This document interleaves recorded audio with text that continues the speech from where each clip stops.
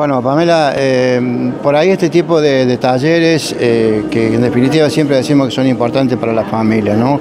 Que no te voy a preguntar cómo se viven porque sabemos cómo lo viven ustedes, ¿no?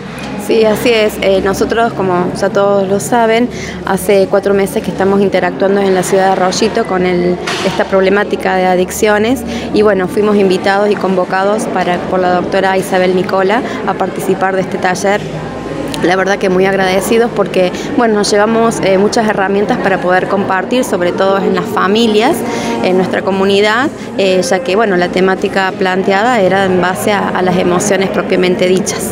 Sí, porque eh, por ahí planteamos, cuando se habla los talleres que tienen que ver con el, fortalecimiento, muchos ligan ahí el tema de la adicción, que indudablemente se trabaja en eso, pero hay varios factores que hoy hemos podido este, seguirlos, que, que tienen que ver con el enojo, que tiene que ver con los cambios de actitud que tenemos, la familia, digo, eh, son varios los núcleos que hemos escuchado hoy. Así es, un factor desencadenante en adicción es propiamente dicha las emociones, ¿no? El enojo, la ira, el rencor, el dolor, la angustia.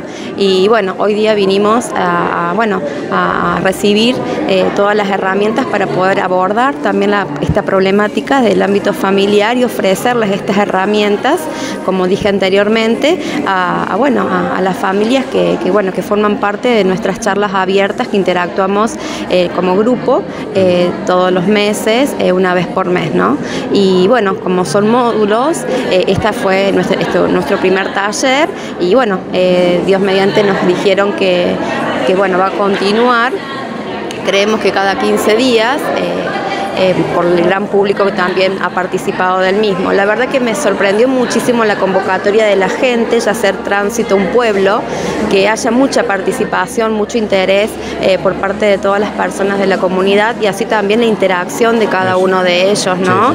Porque me dediqué mucho más allá de, obviamente, de escuchar eh, la disertación, pero también escuchar a, la, participación de cada uno de la gente, que en Arroyito por ahí uno que que tiene la experiencia y pudo em, eh, eh, y convive con esto ¿no? a diario, la gente es como más sumisa, le cuesta integrarse, le cuesta participar, le cuesta establecer un diálogo, le cuesta soltarse, abrirse. Yo no sé si por el tema de, del qué dirán o pero, pero bueno, eh, hoy día acá pudimos comprobar y notar que, es un tema realmente una gran demanda social, de interés social y, bueno, y nos sentimos muy orgullosos de haber participado y haber eh, bueno, sido convocados ¿no? a, este taller. sí, sí, un taller que en la, creo que en todo lo que ha sido, lo que ha durado, ha logrado la interacción que vos decías, se vuelve como una especie de terapia. ¿eh? Es así, es como una terapia familiar donde bueno, eh, venimos eh, totalmente desinformados con un montón de, cuestionamientos, es como que nos permite abordar una problemática y llevarnos un montón de herramientas como para establecer, digamos, una, una cronología en, en, toda esa información que nosotros tenemos para poder desarrollar pautas y llevar adelante una una familia armónica, eh, con valores, eh, con, bueno, con, eh, poder, digamos, de tener los factores protectores necesarios para exacto, y como, falta como también decir qué es, por qué muchas veces se nos provocan en los seres humanos ciertas emociones, ¿no? que uno por ahí no las podemos controlar somos seres de emociones.